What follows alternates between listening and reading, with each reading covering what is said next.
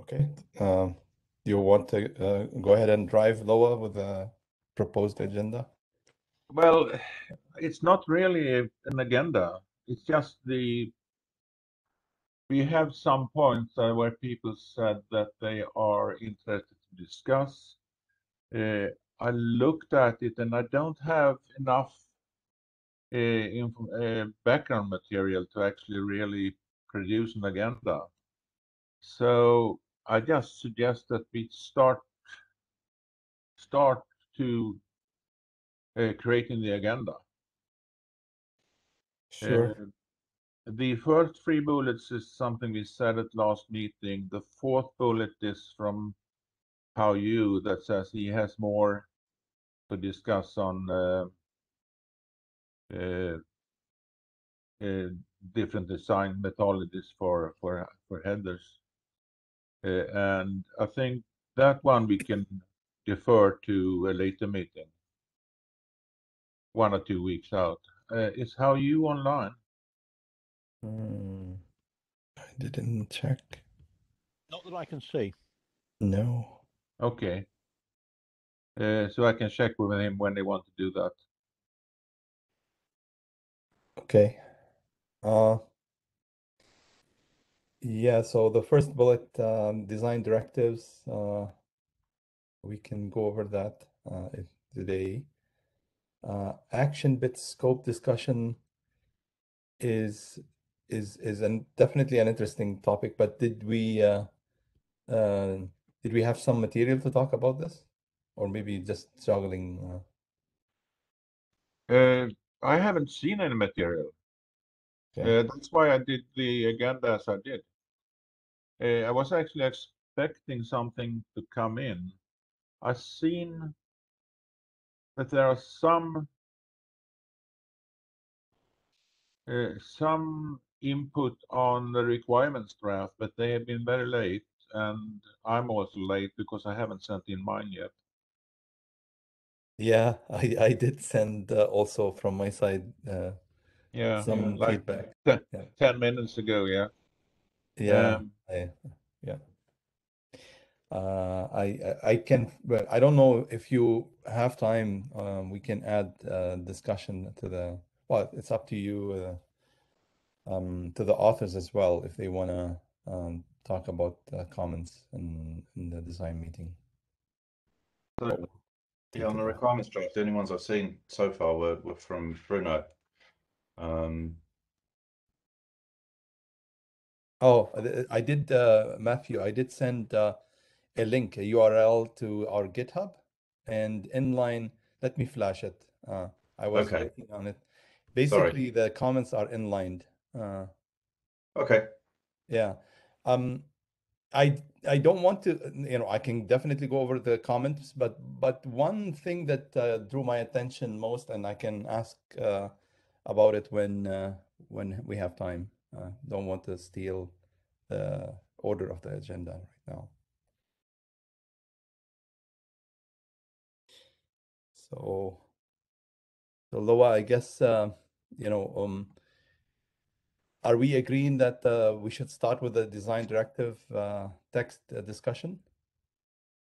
uh, but we don't have the background. Kireeti promised to send, and I haven't seen it.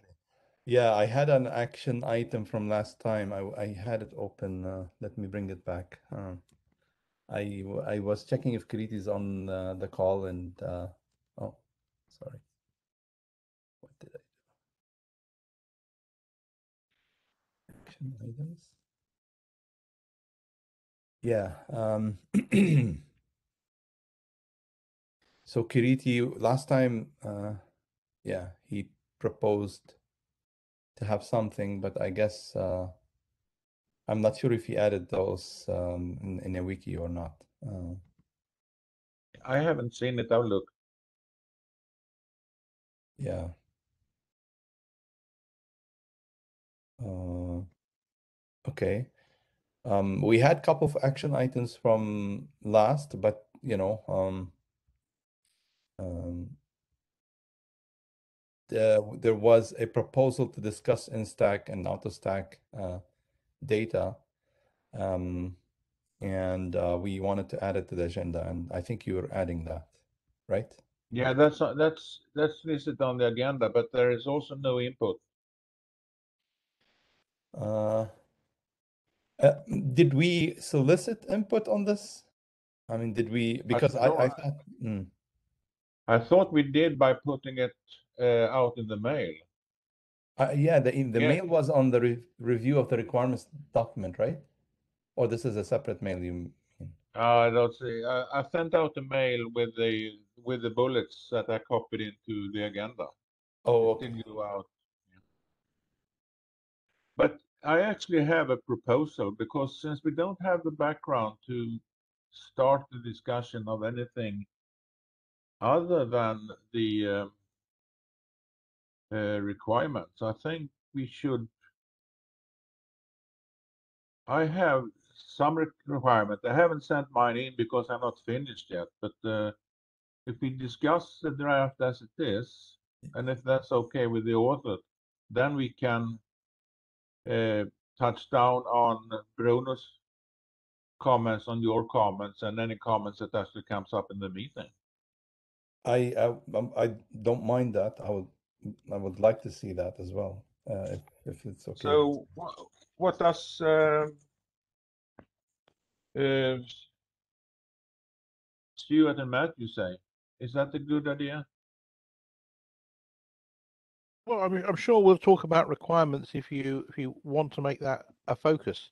Uh, but I think we need some input because um, there really has only been one email, as I remember, on the list about it. Uh, Uh, have you seen anything else, um, Matthew? I, I actually seen two, but uh, Okay. the, the the mail from Tarek was very late. Yeah, I do admit I sent it late, yeah.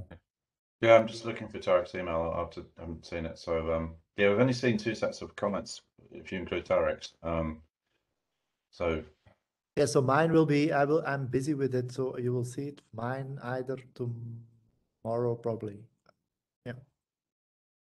Yeah, my comments are on GitHub, so they're, uh, you know, I can give the URL to everyone right now, and you should be able, uh, you know, um, I, I do encourage everyone to use our GitHub, and it's easy way, uh, but you know. yeah, if you can send the URL directly, that would be great because I'm on GitHub now and I don't see the comments. I just see the draft. Oh no, I can see it on GitHub. In GitHub. Um, Did you try I the? clicked on I clicked on the link. Uh, I'm not signed in. I clicked on the link uh, that was in the email that went about, and it took me straight to the page, that- which opens up. Uh, it shows a copy of our draft and a bunch of comments in it. Yeah, I, I, I didn't use the link because I, I can't find the email, but I'm I'm just I'm on. Hang on, can someone it- post it in the chat? I- I yeah, did. that'd really help. Yeah, on on on Yeah. yeah. Because I went via the wiki to get to the GitHub and um, and I'm logged in. Yeah, don't I'm see. I'm also looking at it, so I see that the Tarek captured most, uh, some of the comments I had, so. Okay. Thank you. Yeah, I have one uh, general comment to the authors. When they talk about ADI, um, is it in similar or uh, synonymous context to, uh, uh, for example, the indicators that are uh, existing, like ELI indicator, entropy label indicator, or is it a application uh, or a function indicator? Uh, because that, I, I, that don't, I don't think we're specific. It is an indicator that there is something that you need to go and look at. Yeah, but then there is conflicting uh, statements that, you know, one indicator or or uh, you know one indicator pointing to one ancillary data, and that's it. Uh, but one indicator can point to multiple ancillary data, for example. Uh, well, the way I Uh, understood is it, it uh, not? Ah, it depends on whether it's compound structure or not. The indicator or the ancillary data? Yeah, that's the confusion. Uh, Ancillary Is the data indicator- indicator is an indicator in the MPLS label stack that auxiliary data exists in the packet. I think that's all it's saying, isn't it? No, there are places where it says one indicator for one ancillary data, uh, the, the single a single one, and and that got me. Uh, you know, I need to scroll to find the comment, but Mm. uh, I can look for a single. Okay. Uh, uh, yeah, it, it may indicate a specific type of ancillary data. So one ADI will indicate the specific type. Uh, so we Ah. have one, Uh, So here's an interesting question: Is an ADI a, l- a- a- an LSE, or is an ADI a bit in an LSE? Ah, exactly said it. That's what I was trying to ask. Exactly. And I and I don't think at this level we are we we we have def, we we have we, we've got the we've defined it yet. I remember we discussed this and Yeah. Stewart and and they um I think we came to the conclusion that we shouldn't limit it in the requirements Indeed. Because it could be a bit or it could be you know we don't want we wouldn't want to preclude at this stage So- what what it was. So an ELI would be um, an ADI, but if we did one of these multi sort of indicator ADIs that Kireeti talks about, then it would be the bit that was the ADI. So it would really be if it, it would really be an ADI group indi- group. The whole label would be an ADI group indicator, I suppose, and the uh, bits in it would be the indicators. And that is fine. I'm totally with you on this. Uh, but there are some statements about the support or, you know, uh, an LSR needs to support or must support an ADI. Um, um, does it mean it supports all the applications pointed by the that? I mean, that's what we have to be careful. Uh, Right. So, so, so my philosophy, my MPLS philosophy, and it may not align with everyone else's, is uh, if you care about it, don't send the packet to that to a node that doesn't understand it. And then, then yeah, that's a Do good do you point. follow that? Yeah, I mean, comment I- on that. I- I- yeah, I mean, the MPLS is not kind of the open internet where any packet might wander along. Packet should only go somewhere for a processing action if that somewhere knows how to do the processing action. And and you need to be well, it's a little bit I don't know if it's that strict. What it what it I think we also partly uh, the base requirement is don't send it somewhere that is going to do something bad to it. I thought we think talked it's going about to do something bad to it. Like, like don't send it somewhere that you think that that you think is going to discard it if you don't want that to happen. or, or, or, or don't understand send it don't send it somewhere for low latency treatment uh, because low latency treatment is important to your application um, to somewhere that can't do that i mean that would be bad and um, you shouldn't have done it Yeah, just Yeah. just just be aware of what can happen to it if it goes to the Yeah. wrong place. I suppose. Yes. Folks, folks, can I make a quick interrupt? Yes. Uh, I think we started the discussion on the requirements spec now. yes And I- my suggestion is we spend the rest of the meeting doing that, going through, going as far as we can, and then we just quit. Uh, The uh, question I have, the discussion we have had here on how, what is an indicator, uh, where can you send it and things like that, is that sufficiently covered in the requirements spec as is? Um, i need to remember what's in the requirements spec but um, remember this is and remember this is a team effort Sure, sure. I'm- I'm asking the team. So, so one of the things I think is that the requirement spec can only probably partially define what the indicator is because it's just a requirement spec. It needs something else like a require a framework draft that says really what it is. Indeed. And a solution definition. uh, And s- uh, yeah. I mean, I mean, we're not. Our, our- our job, I think, here is to lay out the things that the solution document needs to address and the parameters associated with the way it addresses it. But we're not designing it here. I don't think we're just setting out what what what needs um, uh, need to be imposed on the design. Stewart, I I agree, and and this is why I left a comment that solutions should, I mean, we should not reference solutions out there in this draft. Right? Right. Okay, so yeah, I think, uh, hmm.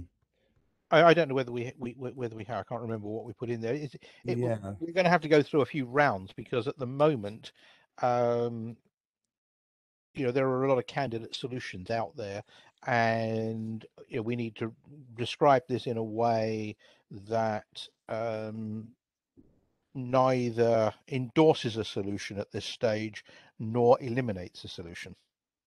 Right, exactly. And sometimes you, you have to call up those solutions to illustrate um, a point that's that's not well known.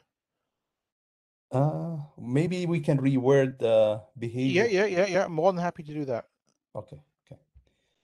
All right, uh, Loa, I, I, um, I'm, I'm okay with whatever way you want to drive. Uh, so I, I can. No, I, ju- I just want to continue now and see where it ends.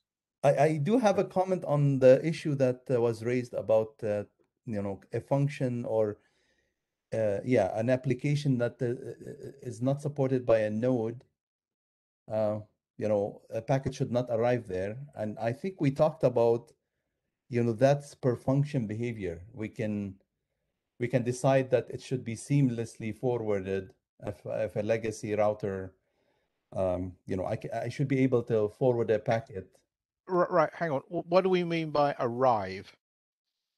Um, because we need to be careful about to distinguish P router behavior from PE router behavior.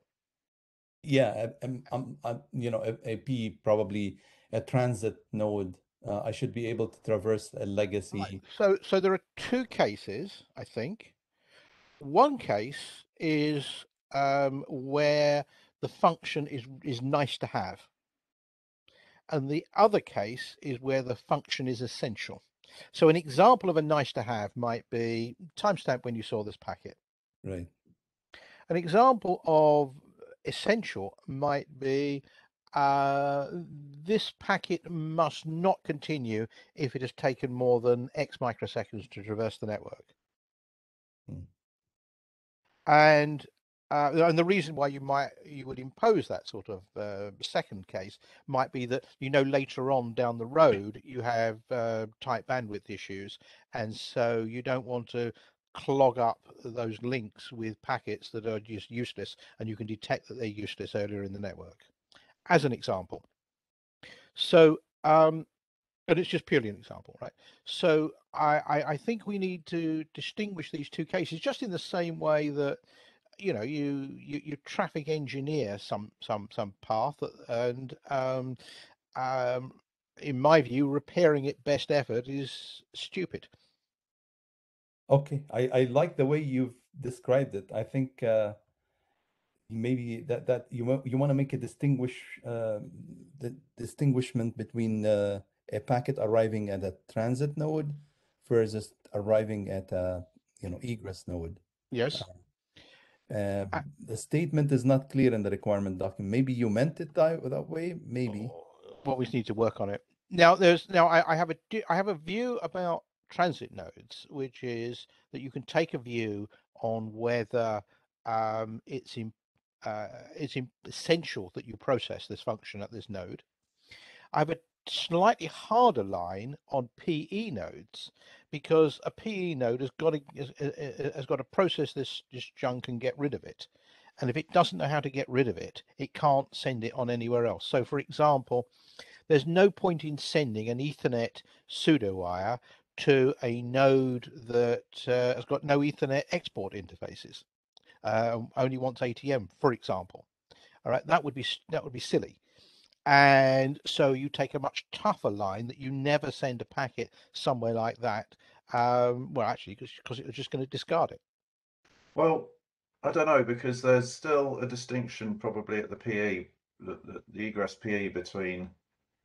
There has to be a distinction between not being able to fulfill the function, not understanding the ADI. Yes, indeed. the Yeah, yeah, application of the ADI, yeah, the function of the ADI, and not being able to understand ADI's full stop. or, or at least not be able to dispose of this particular feature as, as the Right, packet is right. So, it, so, so, so then it may be that there's something that has to be done at the egress PE as an example yes that is nice to have. yes There may be some cross classification as an example. right Uh, you're trying to kind of indicate through the ADI. So you might, it may be that it, that, that you want to, um, you're right they're the same aren't they you still want to forward the service. Yeah, you don't want to dump the packet. You still want to forward the service, but you just can't achieve, it just can't achieve that function. No, no, you're you're, you're exactly the, you're you're right. They are actually exactly the the, the manifestation and and the processing is different, but the requirement is the same. That you need, you, better not send a packet to a PE that can't at least dispose of this and continue with the service.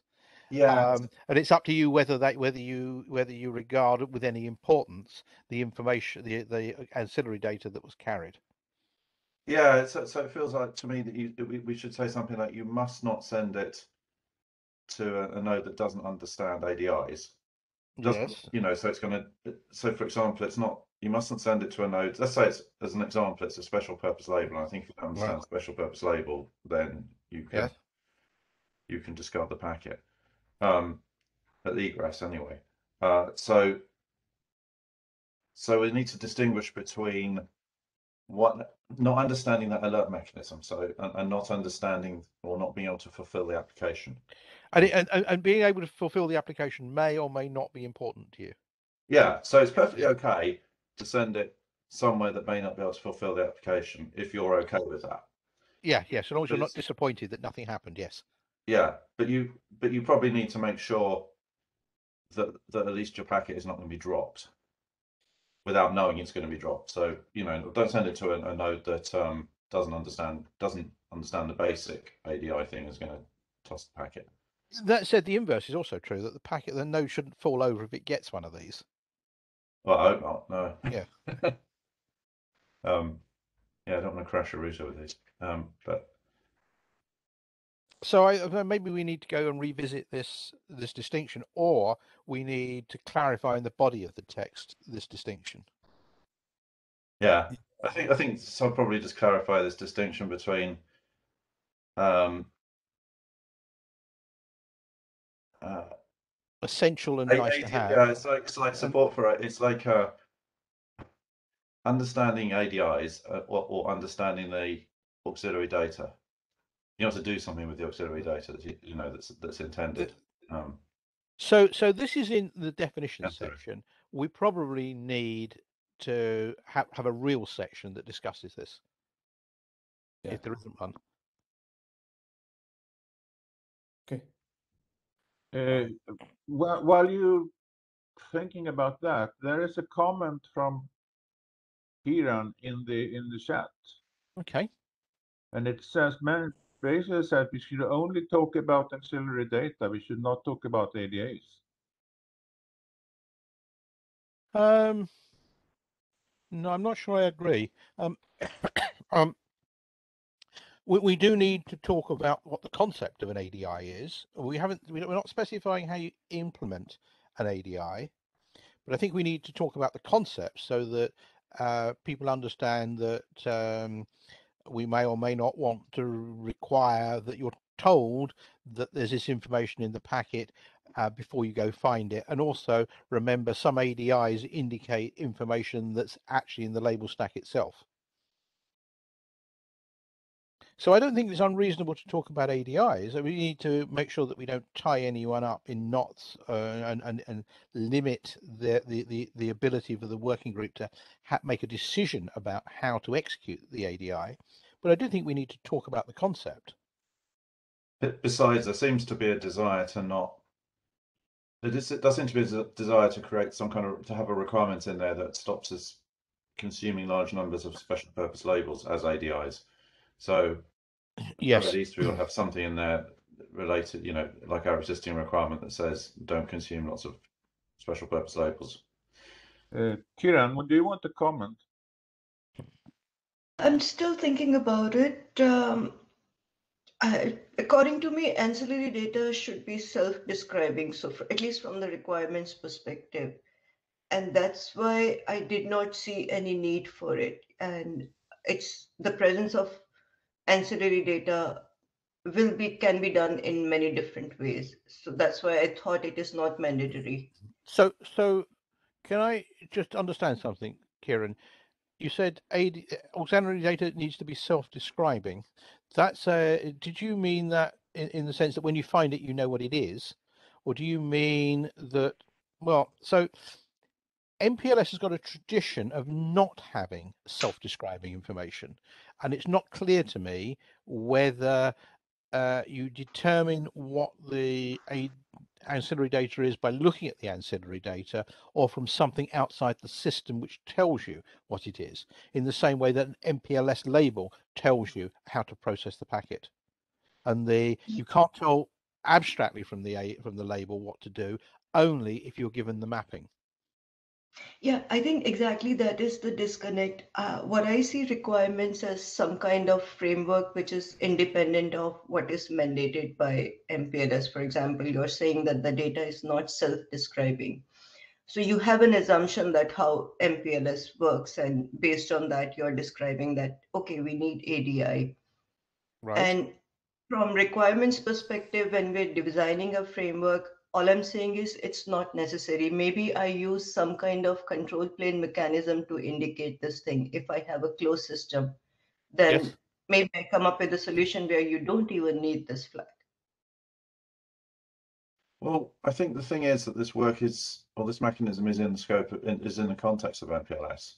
right Um, even if it was broader than that, say it was an IPv6 data plane, um, you'd still need you still need some context that comes from elsewhere. For example, in SRv6, you need a you need a SID structure.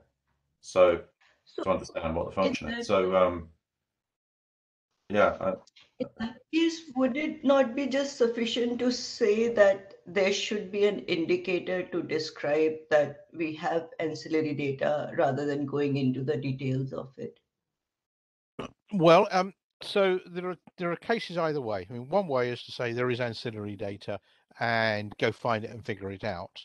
Another way, uh, uh, you know, another valid architectural decision is that you say what sort there is there, so you can determine whether it's something that worries you or not. So, for example, let- let's take the case of um, IOAM indicator. All right. So uh, it could be that you um, you get an ancillary data, uh, an indicator, and then you go back and find, you go down and later on find out it's about um, IOAM, but I don't understand IOAM, so I didn't need to waste my time going down here. Whereas, for example, you could have indicated at the top there is IOAM metadata, uh, ancillary data for you to process, and you can take a decision at that point. Oh, I don't need to bother with that. So it's two. There's two ways, and I don't know which the right way is. I mean, that's for us to work through as part of the design process, and there are advantages and disadvantages both ways. Okay, uh, I'll read the document in more detail, and uh, if we can come up with a better wording, I'll let you guys know. Thank you. And if you want to set up some time to discuss any of the detail, then let us know as well. Okay. I do have another comment, which um, you know I, I didn't understand why the statement was worded this way. Maybe maybe it's true statement, but you know, do you want to clarify? I'll give you a you know chance to. You're mentioning the mechanism to indicate uh, the ancillary data presence must operate in the context of the top label. So why indicating the presence must operate in the context? Uh, maybe it's. Mm, I'm trying to understand it. So, I, I, and, and um, you know, maybe uh, that's too strong a term, but MPLS currently operates everything in the context of the top label. And if you operate in the context of the top label, you get the ability to redefine um, things in in the context of that top label um, to do what is right um, for this application. So the the the entropy label kind of broke that model, but everything else is done in the context of the top label. And I'm not sure whether entropy label did a good thing or a bad thing when it operated. I the jury's a bit out on that, but um, the everything else that happens happens within the context of the top label. So, so I fretted a bit over this because um, I, I thought a lot about the entropy label case, and I'm, I'm not sure it breaks it really because although you can you can scan the stack, and you if you spot an uh, say an LSR, and if you spot an entropy label, you can then make a um, a load balancing decision based on the. Yeah. If you spot the the ELI in the stack, you, you it's perfectly okay to make an, a load balancing decision solely based on the following entropy label. But it's optional. It is optional, but I mean it's allowed. But but the next hop still has to be valid for the top label, right? Yes. So the whole thing is still in. If you take the word, depends on how literally you take in the context of the top label. Hmm. What I mean is, it doesn't necessarily have to be triggered by the top label, it, but it has to still. The, the forwarding still has to be valid from the, the perspective of the top label and the normal label swap. Well, I, and any other additional things that you want to do, I think. Yeah, yeah. So you can't send the packet somewhere where the, the top label that arrives is not valid. So, uh, Matthew, a, a clarification, uh, um, and I heard you um, what you're describing about the entropy label. Like, if there is a function, uh, would it uh, would it um, the function output? Uh, do you think would be different if the top label is different? Um, let's say function is a natting function, or whatever a function is. Uh, do you think if the top label is uh, X or Y, uh, you will get a different result? And should we mandate that? Maybe there's a function that is independent of the top label. Well, yes, I mean, it, well, it depends on how we want to um, to do it. But yes, you could. You could um, use the. You, you could make the behavior of the ancillary data a- and indeed the meaning of the things that point to the ancillary data or indicate the ancillary data. You could all make that happen in the context of the LSP if you wanted. Hmm, I see. And and MP, MPLS operates really in the context of the LSP.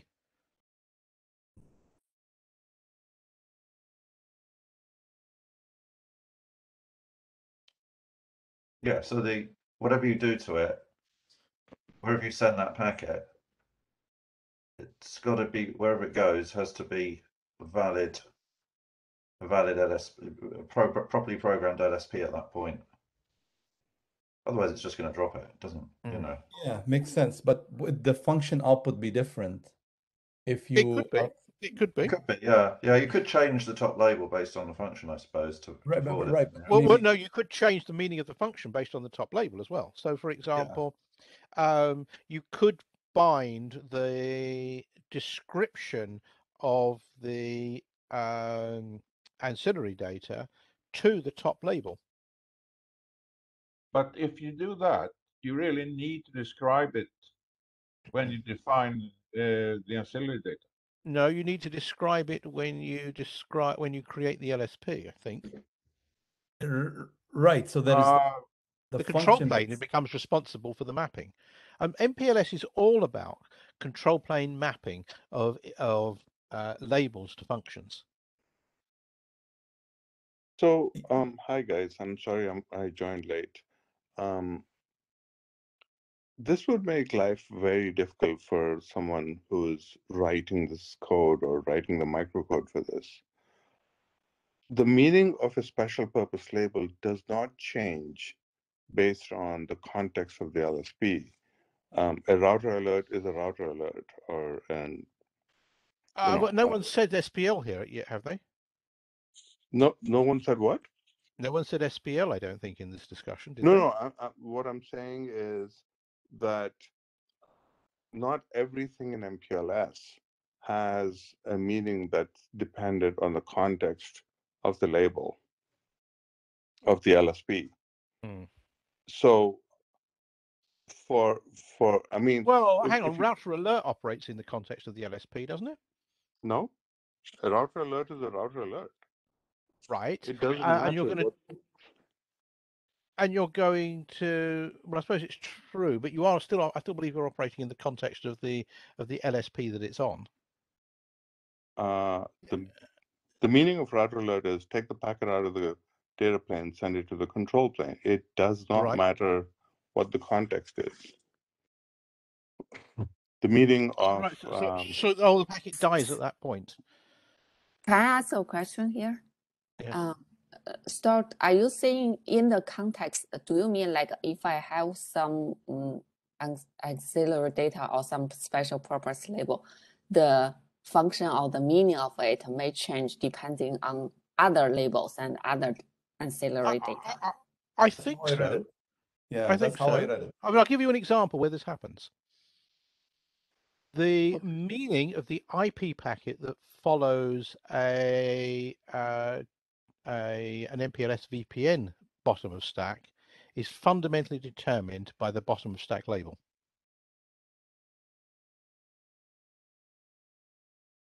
So, I, s- okay, can I say that's like um, you may have the same IP address right inside a VRF, right? Depend on which VRF you are in, you send it to different VRFs. Yes. But that uh, the the meaning of that VRF label, the one identify which VRF to send to send the packet to, stays the same always. Mm, Um, let's think. So I, I, I, I I push the VRF label. That tells me what table to go and look up the the IP packet that follows, doesn't it? Yes. So yes, exactly. So that label mm. always means which table you go to look up, right? And Right. then On, on, on that node, on that node, on not that not node, yes, you go to a different node, and that would get you to a completely different table, or maybe get you to a pseudo wire, or may get you, you know, because it all because they all come out of the global label table. Mm. So, So but bi- uh, still, the, the action for that label is the same. You go look up some uh, uh, tables inside this router, right? Inside this that node, node. yeah, yeah, And yes. then the outcome might be different. That's No, hang, hang on. Look, so so you uh, let's see if we're in the same page. Um, you look up a label in the global label table, and it says, you know what, this is a VRF um, indicator. right. Uh, you look up the same label in a different uh, router, and it means something completely different, either a different table or a completely different function. So the Mm. processing of the data that follows is in the context of the top of stack.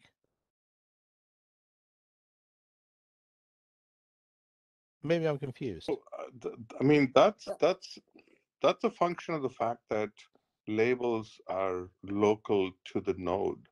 Uh, Indeed, so, uh, you know, label 100 means different things on different nodes. But indeed. Right, but that that that doesn't mean the the the the label that is identifying a VRF action differently on different node. They still u- use that label.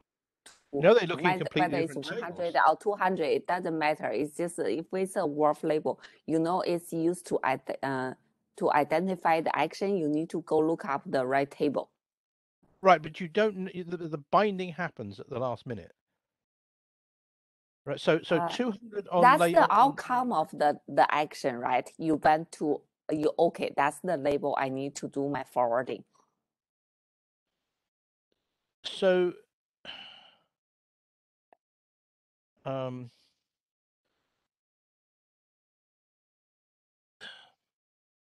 so I think the sort of fundamental here is is about how much of the sort of binding of information to action is baked into the protocol versus is mapped into the protocol through the through the control plane where the control plane could be anything from static provisioning all the way to, through um, SDN through to a dynamic control plane. So I think that's one of the things that we need to get our heads around. How much are we going to bake into the design versus how much are we going to introduce into the design through a mapping function? And everything else in MPLS, except for one or two special purpose labels, um, happens through a mapping function. One follow-up, uh, Stewart. Uh, so yeah, indeed, we talked about um, uh, control plane programmable action or uh, Right. application, and then uh, a standardized uh, application, um, you know, function uh, Right. um, bit. So the standardized one, I would be very concerned uh, if you want to standardize per top label uh, context. You know, the function meaning changes uh, depending. Well, hmm. It's it's independent. It, Uh, it, it- it's a bit more. I think it needs a bit more deep thought um, here, doesn't it? Really. I mean, does, yeah. um, pseudowires and VPNs are examples where the action is well known, but the context of the action is provided by a label.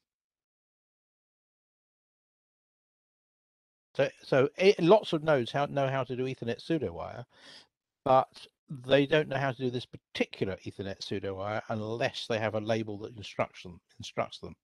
And and that's fine, but must putting a must there, I think uh, maybe I can operate without the top label. The the function doesn't care. Yeah. No, we need to. I think. I think this definitely needs some deep, deep thought. I think. Okay. Um, One other thing I'd say is that i- it's not necessarily in the context of the label. Um, it's in the context of the control plane that sent you the label. So if you were to take um, the VPN label again and you were not doing PHP, um, Yes. you would have a top label that is essentially going to be just thrown away. Yep. Um, and but the fact that the the the next label is a VPN label was signaled via BGP or it's a pseudowire Yeah. label, it was signaled via Yeah. LDP. So the label stands on its own, but what its meaning is is associated to it by the control plane protocol, not in see when you say it's in the context of the top label, um, that concerns me because the meaning of a label then depends on a lot of different things.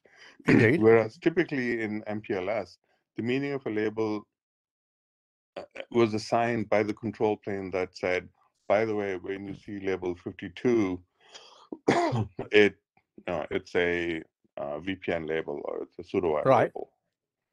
Um, so, so I think that's a slightly different meaning than to say it's in the context. I mean, otherwise you'd say, look at the entire sort of history of the labels that you popped off the stack before you can interpret this particular label. So to say that the meaning of a label is in the context of the control plane that, you know, through which it was exchanged yeah. is something I'm a little more inclined to accept than to say it's in the context of the top label. We do have things called context labels, uh, where a, the meaning of a label, um, especially for you know upstream allocated labels, um, is in the context of uh, the label that was above it. But Right. that's a special case. Um, that's because you need upstream allocation as opposed to the typical usual thing that we do, which is downstream allocation. Let's So- think about this. Let's just. Um, yeah. So if you take a, a a label that's instructing some action to PE, Yeah. you could argue that that operated in the context of the label that preceded it because it wouldn't have got to this node unless that label had the, the label had, the, steering label had preceded it. So but but they're independently processed the fact that i mean especially if you're doing global yeah. labels Yeah, I mean, I, I- mean that global labels are a discussion we need to to to to to have, and and uh, we should only enter the global label. You you mean the, you mean real global labels, or do you mean global the global table? no i mean global table for a particular node Oh, okay, okay. So we need to be no- really, re- I'm just paranoid Yeah, about us yeah. accidentally allowing global labels without explicitly deciding we're going to do it. No no no no no i don't mean that but if i'm you know if i'm a particular node um, most of the labels that come to me i have allocated Yes. so uh, you know somebody send me a bgp message saying hey i need a yeah, yeah, yeah. uh, or uh, uh, you know i used ldp or rsvp Mm, mm. I allocated the label, and so I have the space, and I say I'm going to allocate 100 label 100 for that for particular Mhm. VRF. I'm going to allocate label 300 for that particular LSP. I'm going to swap it with Mm, Yeah. 301 and send it to a particular guy. Yeah, yeah, so, so all of that, the label's meaning is local or just within the label itself. It's not in the context of anything else. uh, and that meaning was assigned, um, you know, via the control plane protocol. Mm. Unlike unlike context labels, where Mhm. I'm going to get a label that I didn't allocate uh, for for multicast or you know whatever. Yeah. And that is a very different thing, and that is used in a very much smaller number of cases. I think the value of MPLS is I control which labels come to me, and in this in the one case of context labels, I do not control that. It's imposed on me because of you know requirements of the of the data plane. so I right. Yeah, yeah. But you won't have got it unless you understood those. You shouldn't have got the packet unless you understood those context labels, of course. yes yes Yes.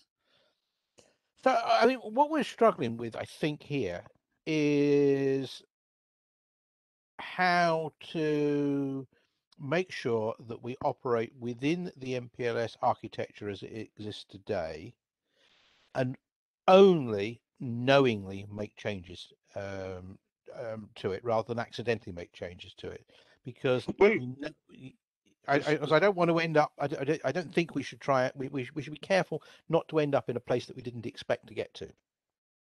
So I, I get that, but at the same time, I think special purpose labels have a fixed meaning independent of where they occur in the stack and independent of uh, any other context. It's not a meaning assigned to the label by the router. So if if you were to say, hey, send me a VRF label, I could say, I'll just pick one.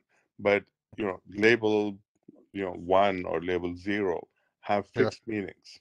So I, I don't think that everything that we do has to be um, in the context of the routing protocol that or, or the control plane that exchange the label. Um, so we can have labels that have fixed meaning, and that's why I said, you know, I was pre- prefacing this by if you say that the meaning of a label is you know determined by the control plane, that's a more powerful thing. But MPLS clearly said we're going to do that. We're going to do that with the vast majority of labels, but we're going Right. to hold aside these 16 labels and give them Right. special meaning so everyone knows exactly how to process Right. them. And and we only do that um, as a mechanism of last resort. Otherwise, we'd have burnt through them years ago. So we right, only right. ever use a fixed one of those tiny number of fixed labels, um, or presumably one of those really harder, much harder to process, uh, longer special purpose labels. We only really do want to do that if there's no alternative to doing it. Well, I would put it differently because I think one of the things that we we can achieve via the indicator bits is that we can take the same special purpose label and give it multiple meanings. But again, the meanings are fixed. At least if you take the FAI as it stands today, what we're saying is, and I'm not saying that we should have that solution, um, but I'm saying that the the what the FAI says today is I will have a fixed special purpose label with, with a meaning, but the meaning of that special purpose label is augmented by these indicator bits. And those are also, you know, uh, fixed meanings. So if you say the first bit is entropy label and the second bit, uh, entropy indicator, and the second bit is a uh, slice indicator, and the third bit is a no FFR, no FRR indicator. Um, what you're basically saying is that very tiny space that we have of special purpose labels, I'm going to expand that space by the indicator uh, bits. right. But the still the meaning is independent of where this thing all occurs. So um, there are two possibilities. One possibility is we bake them in and we have a, a limited um, number and we may or may not get them right and we may need to expand to a second one, etc. Or we make the meaning in the context of the LSP, which would give us the option of changing the meaning if that's what we wanted to do. And the packet has got no business being somewhere where you know the, the that definition hadn't been pre-injected. So if So you again- make the, the, the meeting, be context is global in the network. It doesn't have to be LSP context. I mean, Well, well, I mean, it's a, that's a design decision for us, actually. yeah, I mean, Well, why, why state so- it has to be. If you That's why I want to come back the to the context of the control plane because Yeah. if if you think of uh, in the FAI we have this thing that we I forget what we ended up calling it, but at one point we were calling it policy based. Yes. So Yeah. you're saying that the context or the meaning of this indicator bit and the meaning of the associated data depends on what uh, was given to it by the control plane. So it's not in the context of the LSP, but it's in, in the context of the control plane that said, by the way, router 72, if you get this and you see that bit set, the meaning of the associated data, the ancillary data is blah, blah, blah. And it's Right. not assigned by the MPLS working group. It's not assigned, you know, for all time. no, indeed, indeed. It, I, and I don't quite know how to articulate this all in, in a way um, that's crystal clear at the moment. But So, I, I, I, I, uh, start I, I, at I think What? the confusing point you say in the context of LSP, my understanding is that label, the, the meaning of that label will change because of the label stack is different. yes, and that's And how I- MPLS works. No, that's not how MPLS works. Um, like I said, mostly the meaning of the label is the control plane that ex, uh, exchanged the label, not Yes. the previous label that came, except for the rare, relatively rare occurrence of context labels, literally context labels. So I, I think I'm uh, in in tune with Yingzhen that the meaning of the label is in the context of the control plane that exchanged that label, not in the Right. context of the LSP. Uh, okay, okay, okay. So, how would we deal with this? So we're in the middle of the network. Um, we need to bind some meanings to these indicators. Would we want to bind it to a node, or would we, if we bound it to the LSP, then um, we would be free to have different versions of this as and when we needed them. Whereas if we bind them to the node, I'm not quite sure how this works because uh, that you have to have a network-wide definition. Yes, and that was one of the things we were struggling with when we talked about Yeah. uh, policy-based meaning or you know control plane-based meaning, because everyone would have to have the same interpretation. That interpretation of bit seven in the indicator flags. Um, one approach is bit seven always means it's an entropy uh, indicator. yeah, yeah. But another interpretation is bit seven uh, means go look up to your point about the mapping go Yes. look up and it says oh bit 7 is actually you know blah blah blah indicator and Yep. everyone would have to interpret that the same otherwise this will get very difficult Well, to manage everyone would need to interpret the same along the LSP. A different LSP could have a different interpretation. true but um, i think life would be difficult if you did that um, because for example you don't control ecmp and so if you if you were to send it you know if the choice between you know after node a you can go to node b or node c and then you depending better, on yeah, you better make sure it's the same across all of those paths. So I think, right I, I I think to some extent, this is the difference between um, uh, multi-point to point and a point-to-point um, domain. And I suspect all the really fancy things are more likely to happen on a well, you know, a completely engineered point-to-point path.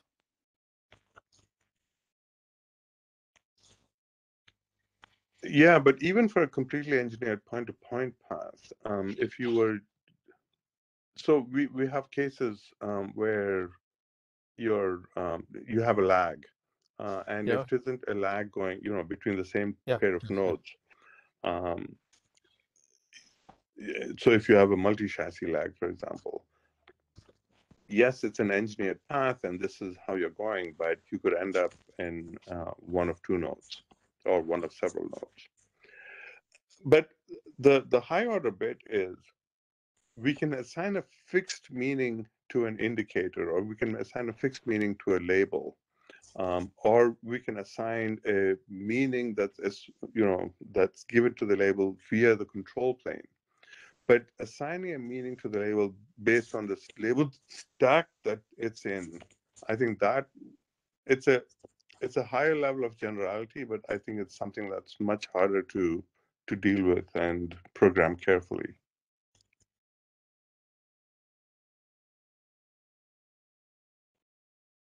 So, so that phrase in the context of the LSP is what bothers me, uh, what scares me. In the context of the control plane that exchanges this label is something that I've lived with my entire MPLS life.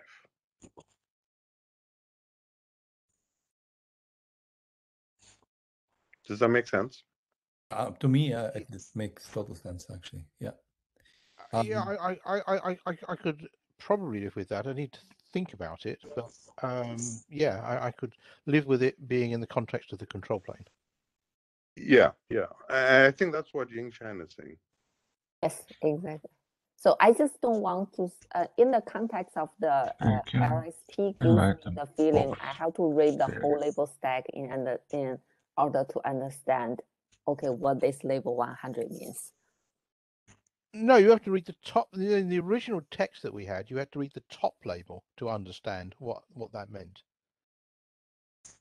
Mm, Like I said, that's something yeah. that you only do for context labels. Right. Um, it's not a. It's something that, to your point, the original MPLS architecture never had that. We had to invent that context level mechanism because of upstream allocation. And while the original MPLS architecture talked about upstream and downstream allocation, then everything devolved to downstream allocation and Indeed. allocation. The meaning being allocated by the control plane, uh, independent of you know where um, you know, where well, it was always done by the control plane, so- wasn't it? It's just that it got downstream because one of the control planes operated like that. So for that, you, you may say, okay, I might use label 100 or I might use label 200 to forward to uh, like a w- one in particular one interface. So whether you use la- 100 or 200 doesn't matter, right? It's just that label means a forwarding action that doesn't change. So that that that context that action doesn't change in the context of other labels. That's what I Okay, meant. except except for Yeah. for for upstream allocated labels and context Yeah. labels. Yeah. So the vast majority of labels that we use either have a fixed meaning, and that's a special purpose labels, or they have a meaning that I allocated to it and told you about via the control plane. But then they don't have a meaning yes, in the yeah. context of the top label. Yes, that's what I meant. Yeah. Is that true? I'm just trying to think. Ha- ha- hang on a second. Um, is that really? Put it this way: if I were to hand out label 100, um, i- you know, is look up look up this packet in this VRF. Yes. it doesn't matter what the top label is. And so if I were to get label 100 from P router A, or if I were to get label 100 from P router B, that label 100 was imposed by my fellow PE at the other end of the network. Right. And whichever way it came to me, with whichever top label or whichever label stack it came to me, it doesn't matter. but I that label was assigned, the meaning of the label was assi- assigned by BGP, not by the context of the label stack. but you only processed it when it was the top label. So by definition, you're processing Or processing. no, because I could have done a, if I'm doing UHP, I removed the top label. The top Yes. label told me this came on this RSVP LSP because I, I want to keep stats for that particular LSP. Yeah. I then popped that top label, threw it away. I don't, all I used the top label was for statistics um, to say this was on Yep. this RSVP LSP. And then I pop, processed the next label You're not completely going- independent. Ah, ah, but hang on a second. So here's where I was getting worried, right? So we're not talking. We're talking about not processing the top label when we do some of these uh, ADIs. We're talking about looking at a label further down, aren't we? Yes, yes, yes. But but that's And and uh, um and the question is, does that have an absolute definition or does that have a definition that is imposed by the control plane in its own right or controlled by imposed by the control plane in the in conjunction with the preceding label So um, today, most of the labels that we use are independent of the label stack that they're in. right but that's not what we're what we are we're building a new thing here But but what I'm saying is that I think even in building the new thing, we can we can have pretty general semantics without saying, oh, the meaning of this depends on the label stack that that's pushed or that's above it or the top label. the top label is one instance. If if this particular thing that I'm looking at, let's say it's a FAI label, again, just for argument's sake, um, I'm looking at this label, you know, three, 10 labels deep. I could say that the meaning of that label depends, you know, it's something that it has intrinsically, um, either it's a well-defined label or it's in the context of a control plane that define the meaning of that. Or I could say it's the meaning of that label, you know, five into the label, five deep in the label stack, depends on the top label, or it depends on all the labels that came before it. There's no reason why the top label has to be special. Anything that you say where the meaning depends on the labels above it, I think would be very hard to control because uh, the label stack comes and goes and depending on which direction. I mean, just because you triggered fast reroute, you put a few more labels so that you can go Yeah. a different path. Now, if the meaning changes, I don't know how you manage this network. Whereas if you say the meaning is fixed, yes, it's pretty restrictive. If you say the meaning stands on its own, but it's determined by the control plane, I think it's much I, more I could general. live I, I could live with that yes i could live with that i think think that's okay Okay, so so I, I think that's where uh, Yingzhen and I are coming from. Um, and maybe I don't know um, if Tarek is in the same space, but that's that's kind of where we are today with MPLS. That the meaning of a label is not fixed for all time. The vast majority of labels that we use are fixed via the control plane, but they're independent of where they occur in the stack. So you could have a situation where you have uh, you know several layers of hierarchical LSPs, all ending up at this PE, and so as as you're looking at the label stack, you keep popping things saying, "Oh, I just ended this label, uh, this LSP, I ended this LSP, I ended this LSP, I ended this LSP," and finally you can come to that label 100 and say, "Oh yeah, that's a VRF label." I don't care how many labels I popped off the stack and and right, no, i away. understand where the confusion i understand where the confusion is Okay, um, okay. So, so and in in part it's because my definition of the top of stack is if you've thrown all this other if you're not going to process this label until you've thrown everything else away then by definition you're operating in the context of top of stack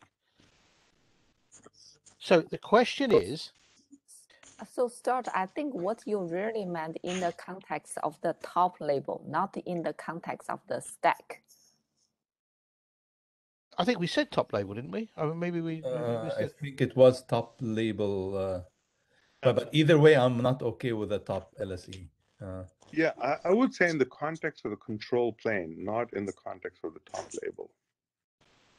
Uh, I, I would say um, it's an option. Uh, uh, putting it in the context control plane, it can work without any context. Like you said, the router alert is does not need a context, does it? Sure, sure. So the uh-huh. two the two things that I have seen and I'm comfortable with is it's a fixed meaning or it's a meaning in the context of the control plane.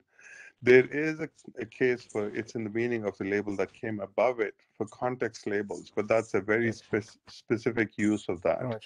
The vast majority of the use of labels in MPLS are either it's a fixed meaning or it's a meaning assigned to it by the control plane independent of where it occurs in the stack.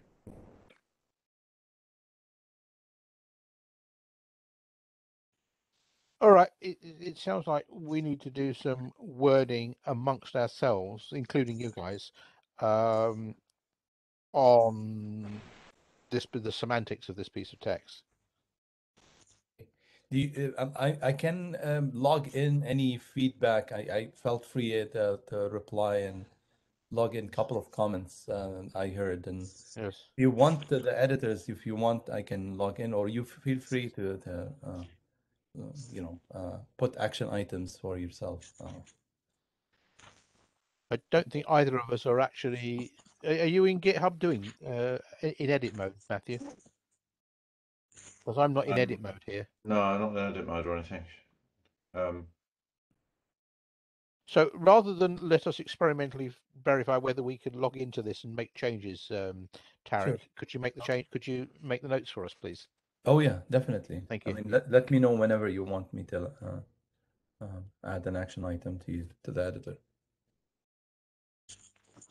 Um, I do have another one which requires some clarification. Uh, um, here is a here's a statement: the solution must support the processing of subset of ADIs, which is uh, good. Um, I like that. That means only a subset. I, I'm not sure what is meant by a subset of ADIs, but it contradicts with the previous requirement saying that neither an ADI or ancillary data must be delivered to a node not capable of processing it. So subset means some of them might not be supported, but here we're saying we sh- yeah, I, be. I think I think this needs modifying in the context of the discussion we had earlier about um, nice to have versus um, Must have. Yeah, Okay, this is not right. okay, makes sense. Uh, um, yeah, you, you must have meant something by as close to the label stack as possible. Maybe top of the label stack? Or bottom of the label stack? Maybe uh, in order to prevent unnecessary scanning of the If you're packet. talking about unnecessary scanning, it should be top of the label Oh. stack.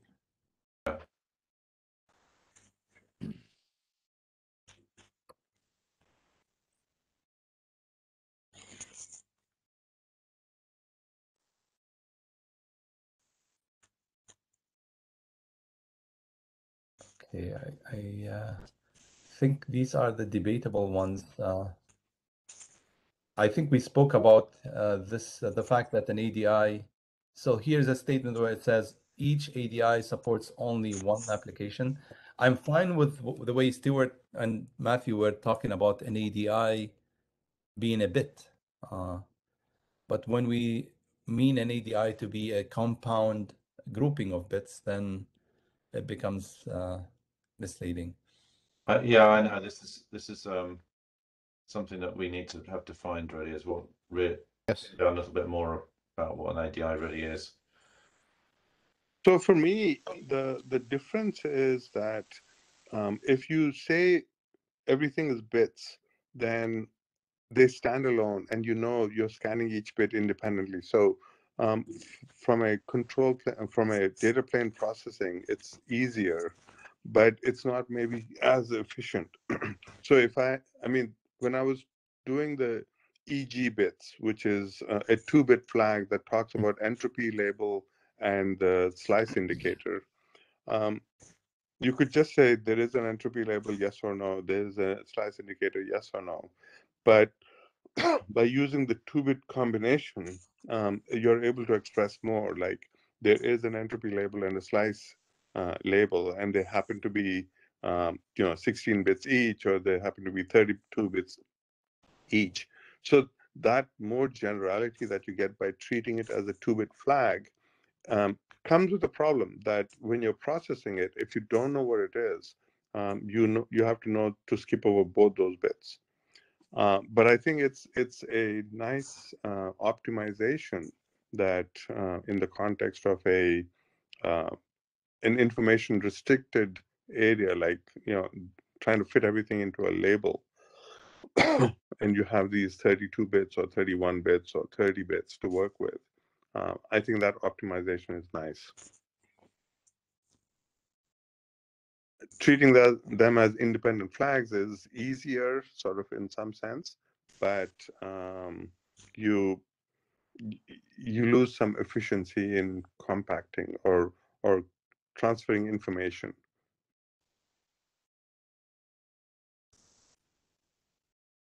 Well, uh, uh, I, I, don't agree with this claim that it uh, will make uh, it easier. So as I uh, said, I did some in-depth analysis on the actual um, implementation. it shows that it, you know when you uh, use uh, bitmaps to indicate the applications that uh, that doesn't help at all, but uh, uh, it uh, introduces a lot of limitations, make it inflexible and uh, limit the extensibility. So yeah, I, I will, if I have time in the future meetings, I will give a, a presentation about that to show why why it is like that. So uh, I guess I'm not talking about any implementation. I'm just saying if you, again, with a very concrete example of the E and G bits, if I have two bits to work with and I code them independently, I basically get to say there is an entropy uh, indicator, yes or no. There is a slice indicator, yes or no. But if I Yeah, combine them into one two-bit flag, I can actually encode many more options. Um, and so that's that's why I like multi-bit flags. Uh, all- uh, that's all I'm saying. It's not about I'm implementing this in P4 or implementing this on Broadcom. I'm just talking about the conceptual level. Yeah, I, I, I think we do need to consider why we introduced this feature because uh, uh, for the entropy label, uh, they, they are self-explanatory. So, um, which means you, you, you don't need an indicator. You can you, you just uh, uh, parse the label stack, you will find it uh, without any ambiguity. Um, so, in that sense, it's a bit is redundant. We just have a, a feeling that it might help if you know in advance, but uh, actually, uh, from the parser point of view, it doesn't help. So that's my So, point. so uh, I mean, I, I I don't understand. Uh, forget the entropy label indicator, the ELI, you know, label value seven. I'm not talking about special purpose labels. I'm saying if you have a single special purpose label saying there's stuff going on here, and then you have a bunch of uh, bits saying what exactly that stuff is, then you need to know whether there is an entropy uh, value in the stack, in the in the label stack below, where there's a, a slice indicator value. So the the what associated data there is uh, uh, associated with this, um, you know, with the ADIs, that you need to know. All I'm saying is when you do that, if you do it bit by bit, you get a certain level of information transfer. If you do it flags where are multi-bit flags, you get more or potentially more information. Okay, so you so you mean there will be no further uh, uh, identification for each uh, the meaning of each label. So you, you just use this uh, flag to tell them. There- There's no further what? I mean, I mean, uh, you know, you just uh, have a give the different semantics to the some some labels, um, and uh, uh, you have to rely on this uh, flags to tell what they are. Is that what you mean? Yeah, I mean, the basically the flag is a conden- condensation of the older, um, you know, when you had an entropy label indicator, you have a full an SPL that whose only job is to say, by the way, the next label is in the stack is the entropy value. and if you had, um, as was being uh, proposed by um, the the folks doing network slicing, they said, oh, we can have a special purpose label, a new one that says Okay, that the next label is I- a slice indicator. Instead of I- I- having special purpose labels all over the place, I'm saying you have one special purpose label, and then you have these bit, either bits or flags that say, yes, the next label is an uh, entropy value. The label after that is a slice value. Uh, So that's that's the purpose of the indicators. That instead of burning five um, special purpose labels, you burn one and then you have five bits or five flags. I, uh, I- that's uh, I, I think that's a kind of uh, encoding style for the in-stack data. You, you, you now you cannot say the following um, uh, data still labels. Actually, they are just some you, you define a, uh, a, a new header format in the label stack. It's uh, basically like one label plus one special label with flags plus uh, a bunch of uh, uh, data data words. Yes, Something like exactly. But but uh, my question is, uh, um, just for the case of uh, um, entropy label, there are already um, there's already standard for for that, right? Um, but here But you are thing, but suggesting a different uh, way to, to to do that. So uh, for entropy label, yes, there is, but we achieve that at the cost of burning uh, a whole special purpose label. We've already done it; it's done. But um, for all these new functions that people want, if we do the same, we'll run out of special purpose labels. So But- instead but- of burning a new special purpose label, what we're saying is burn one special purpose label and then indicate Yeah. which of those things you want with bits, with flags. But yeah, but my question is, do we really want to define new functions using a label concept? Why why don't we just uh, um, make make them all uh, ancillary data after the uh, stack? If we have a, a unified mechanism to do that, then we, we don't need just pack everything in the label stack. I think that will complicate the the parser because um, basically it's introduced um, different um, formatted data into the label stack. It's, So uh, that's a separate discussion. Um, the the um, I've I've tried to say this, but I- I, I think this was on today's agenda. Unfortunately, I joined late. Um, what do you put in the label stack, and what do you put after the label stack and post stack data, and how do you choose? Um, for me, the value of putting something in the label stack is that you don't have to process the entire label stack to get to the information that you need. So if on a hop by hop basis, you need to know what is the slice so that I treat the packet correctly, then you don't need to go to the bottom of the stack to do that. You can, you know, hopefully within the first four, three, four labels, you can find it. That's the value.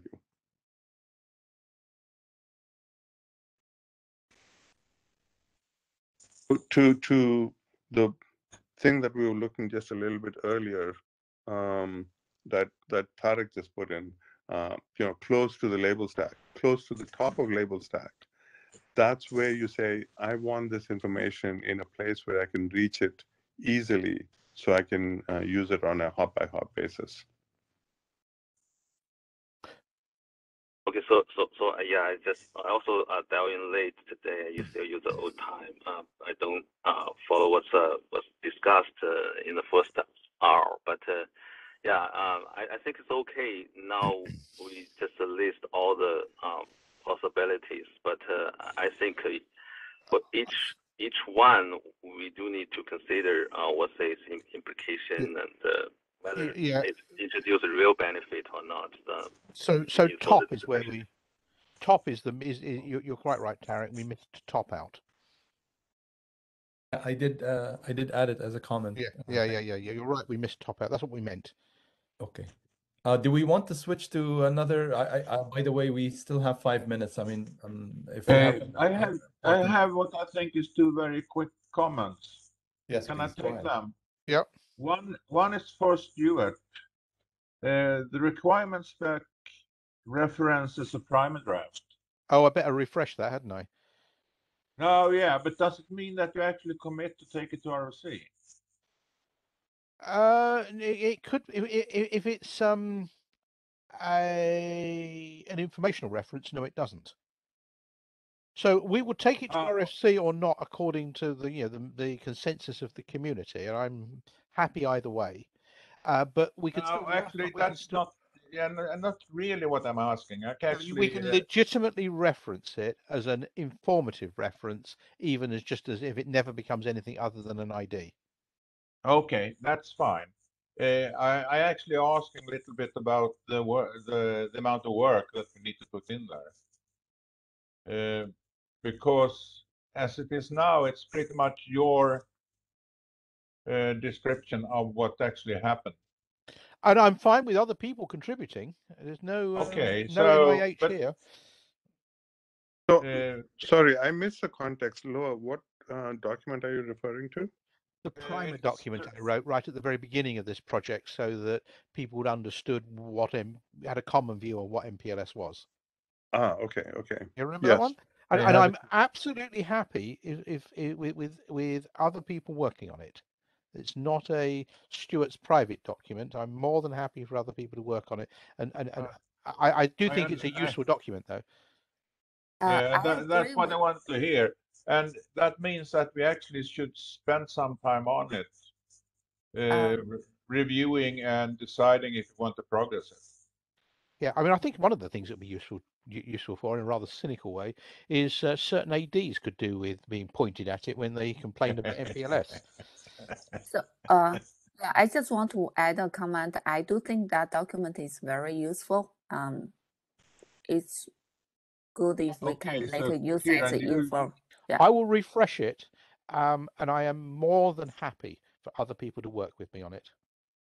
I'm even happy for someone else to take it over, um, but I'm, I will refresh it, and um, um, more than happy, as I say, to, to this to be a community action uh, or to die, depending on what the working group wants to do.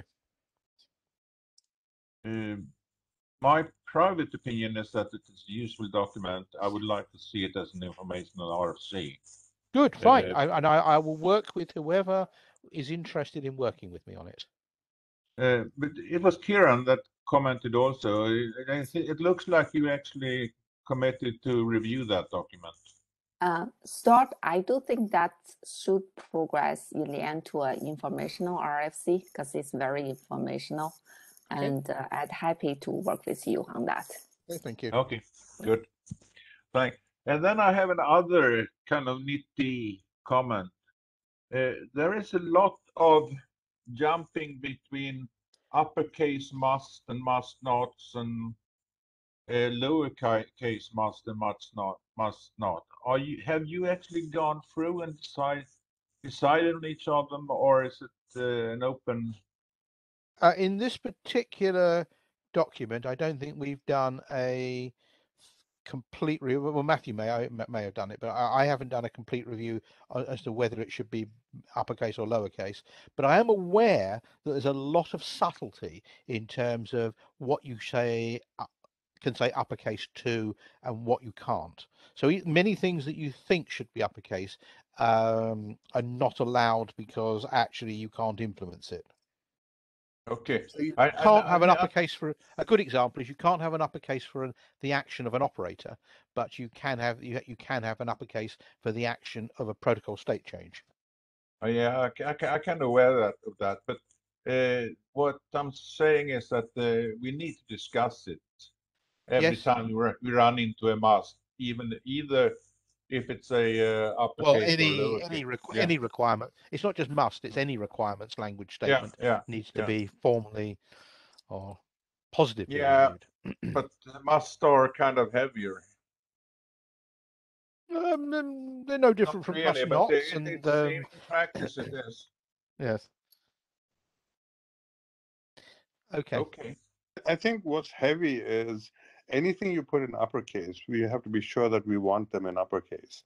Indeed. There may be a few things that are in lowercase that might be better off being in uppercase, but if you put something in uppercase, you better mean it. Indeed. Yeah, Indeed. agreed. Indeed. Indeed. Okay, I think we're uh, But we're a long way from committing text to the RFC editor, so we've got a bit of a while to fix it. Okay. I just wa- just don't want to defer this No, no, no. I understand. I uh, understand. I understand. I understand. discussion to the uh, AUTH48 or something yeah. like that. It's, uh, we, we need to solve it before.